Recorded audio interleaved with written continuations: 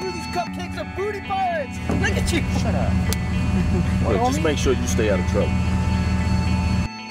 Would it kill you to eat a vegetable once in a while? Nope. Real men eat steak. Enough with the hat in the house already. It's a wonder why you haven't had a heart attack yet. There are some days, if I don't get high, I feel like I might die. So then why don't you quit, huh? Move out. Get your little life figured out or something like that and leave me the hell alone. I am serious right now. Well, what do you want me to do about it, man? We're broke. We don't have rent. I, I don't even know what I'm gonna be eating tomorrow. I can't think about food right now. Sorry, so sorry. Wish it wasn't this way.